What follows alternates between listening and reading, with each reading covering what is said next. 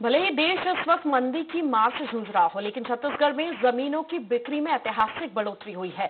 25 जुलाई से 10 सितंबर तक सत्ताईस हज़ार तीन सौ तिरानवे रजिस्ट्री हुई है, जिससे सरकार को एक सौ बावन करोड़ का राजस्व मिला है, जबकि इसी समय पिछले साल सत्रह रजिस्ट्री हुई थी और महज नब्बे करोड़ का राजस्व मिला था। आंकड़ों के माने तो करीब उनसत्तर फ़ीसदी अतिरिक्त राजस्व सरकार को मिला है। आंकड़ों में ये बढ़ोतरी भूपेश सरकार के उस फैसले के बाद हुआ है, जिसमें सरकारी ज़मीन की कीमत यानी कलेक्टर गाइडलाइन में 30 फ़ीसदी की कमी की गई थी। रियल एस्टेट की जानकारों ने सरकार के इस फैसले को वाजिब बताते हुए कहा था कि मंदी के दौर में भी रियल एस्टेट के कारोबार को ये सहारा देने वाला फैसला होगा। भले ही देश इस वक्त मंदी की मार से जूझ रहा हो। लेकिन छत्तीसगढ़ में जमीनों की बिक्री में ऐतिहासिक बढ़ोतरी हुई। है पच्चीस जुलाई से 10 सितंबर तक की अवधि में ही राज्य में सत्ताईस हज़ार तीन सौ तिरानवे रजिस्ट्री हो चुकी है। इसके एवज में राज्य सरकार को एक सौ बावन करोड़ रुपए राजस्व की प्राप्ति हुई है, जबकि इस अवधि में पिछले साल सत्रह हज़ार आठ सौ बावन रजिस्ट्री हुई थी और सरकार को महज नब्बे करोड़ का राजस्व ही मिला था। आंकड़ों की माने तो इस वर्ष करीब उनहत्तर फ़ीसदी अतिरिक्त राजस्व सरकार को मिला है। आंकड़ों में यह बढ़ोतरी भूपेश सरकार के उस फैसले के बाद हुई है, जिसमें सरकारी ज़मीन की कीमत यानी कलेक्टर गाइडलाइन में तीस फ़ीसदी की कमी की गई थी।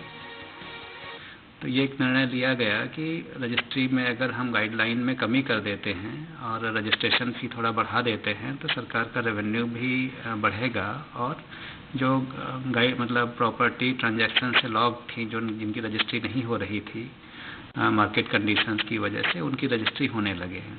तो ये एक निर्णय हुआ कि सभी पूरे प्रदेश में 30 प्रतिशत गाइडलाइन की दरों में कटौती कर दी जाए। पूरे देश में एक डाउनवर्ड डायरेक्शन में जा रहा था तो हमारे इस प्रयास से इसमें एक अच्छा काम आ रहा है, का काम हुआ है और रजिस्ट्री बढ़ रही है। इसका मतलब लोग अपने मकानों के लिए प्लॉट्स खरीद रहे हैं, मकान खरीद रहे हैं फ्लैट्स खरीद रहे हैं हाउसेस रिसेल हो रहे हैं।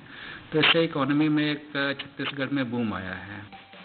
रियल एस्टेट के जानकारों ने सरकार के इस फैसले को वाजिब बताते हुए कहा था कि मंदी के दौर में भी रियल एस्टेट के कारोबार को यह सहारा देने वाला फैसला है। दरअसल, साल 2008 से 2018 तक हर साल ज़मीन की सरकारी कीमतों में करीब 10 फ़ीसदी की बढ़ोतरी होती चली गई थी।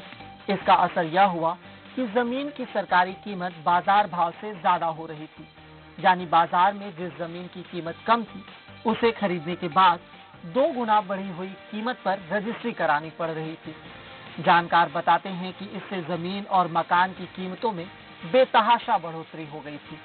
छत्तीसगढ़ राज्य गठन के बाद यह पहली बार हुआ था कि सरकार ने ज़मीन की गाइडलाइन दर घटाई थी।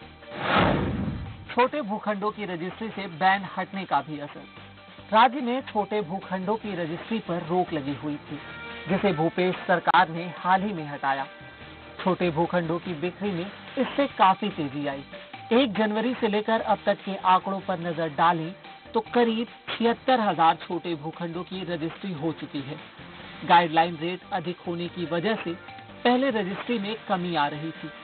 सरकार के गाइडलाइन रेट में कमी किए जाने के बाद जो रजिस्ट्री ब्लॉक थी, वह अब हो रही है।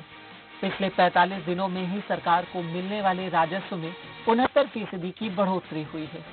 रजिस्ट्री डेढ़ गुना बढ़ी है। इससे यह अनुमान लगाया जा सकता है कि पिछले तीन सालों से जो राजस्व लगातार घट रहा था, वह इस साल बढ़ेगा। पिछले साल अनुमानतः 1113 करोड़ का राजस्व मिला था।